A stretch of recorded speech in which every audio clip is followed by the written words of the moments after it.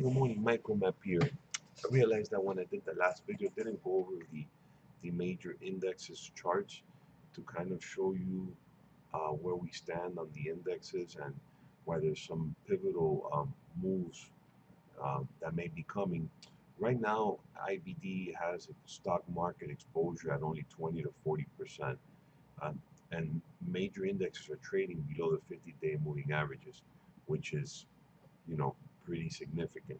So let's take a look at the SPY. Dog wants breakfast. So if we look at the SPY chart here, we have a nice bounce in the pre-market to 506.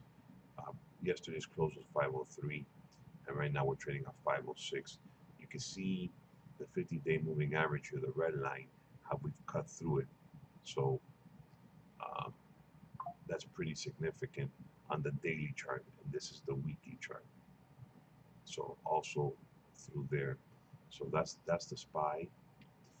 And the Qs as well. You can see here illustration here, cut through here. We're up two dollars in the pre-market. Big cut there. Uh, small caps, IWM probably the worst of the ones because they're really uh, interest rate sensitive. Um, you can see they're further down compared to the other indexes. Um, small caps don't like higher interest rates. So, and the Dow Jones, which is the DIA, up almost a dollar in the pre-market this morning. Um, let's see if it pulls up the chart. Can see is through the 50 day. So we have to see if we can regain this 50 day. It's very important. But anyways, I wanted to show you. Uh, I wanted to show you. Uh, sorry, uh, done five minutes so far this morning, so pretty busy morning. Um, I wanted to show you the the uh, charts on the indexes has how they are below the 50-day moving averages, which is very important. And then gold, um, we can take a look at gold, which is like a non-correlated asset. You can see we've had a nice run here on the gold. Significant, you know, could mean danger, you know, a lot of different things. You can see here it's breaking out. And I think there will be a repricing of gold. Uh, take a look at silver. Is the daily and the weekly. Kind of a breakout here. So, um, like I said, I, I feel that, that we're going to have repricing of these metals. Um, just like houses got repriced when interest rates were low. You know, houses in my neighborhood were, you know, 400, uh, 400, 450. Top I thought was 500. Sold the house across the street for 705.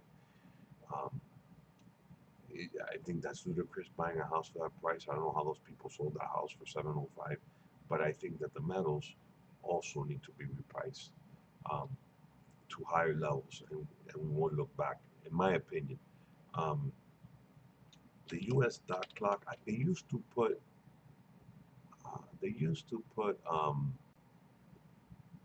I don't know they still do it. Uh, yeah, they do. So here you can see the dollar silver uh,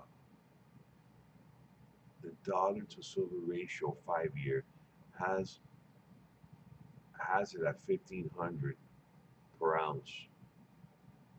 Dollar to silver ratio 10 year 1100 per ounce. Dollar to gold ratio 5 year 12600 dollar to gold ratio 9300 um, we have dollar supply of I can't make that number up. And I want to say it's 332 trillion, I guess. Our U.S. debt is almost at, uh, it's at 34.6 trillion. Uh, debt per taxpayer, 266,000. This is a pretty good uh, website, usdebtclock.org it's mind-boggling if you look at these numbers. Really, really mind-boggling. Interesting um, little website. Um, take a look at it. talks about unfunded liabilities, uh, Medicaid, uh, it breaks down everything: population, housing, uh, auto sales, gold.